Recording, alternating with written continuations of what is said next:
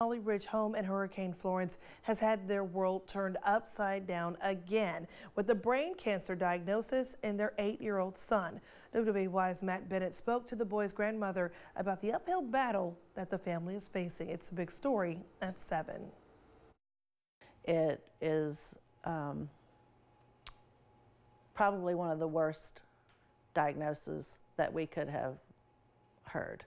After Hurricane Florence left them homeless, eight year old Perrin, his younger brother, their parents, and their dog were staying with the boy's grandmother, Donna Javaris, in Hampstead.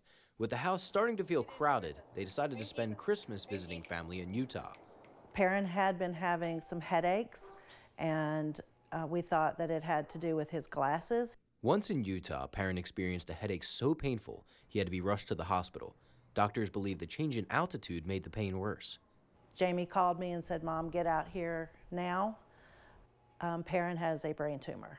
Javaris got on the first plane to Utah and was able to see Perrin before he underwent surgery to remove the tumor. He told me, um, Nana, please don't worry. This is going to make my headaches go away. After a seven hour operation, the tumor was removed, but Perrin was diagnosed with stage 4 glioblastoma, the same brain cancer John McCain had. We are going to fight it every every single breath we have. If I could, I'd take it from him in a second. Javaris says the family will stay in Utah for at least six weeks so Perrin can undergo chemotherapy and radiation. She says Perrin's father, a retired Marine Raider, and mother are unable to work while they're in Utah, but they're staying positive. They're a strong family. They're a strong Raider family, and um, it's going to take a lot more than this to, to get them. In Hampstead, Matt Bennett, WWAY News.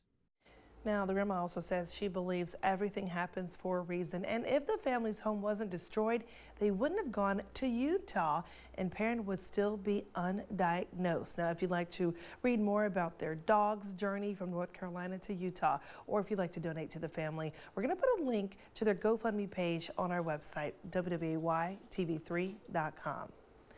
Well, new at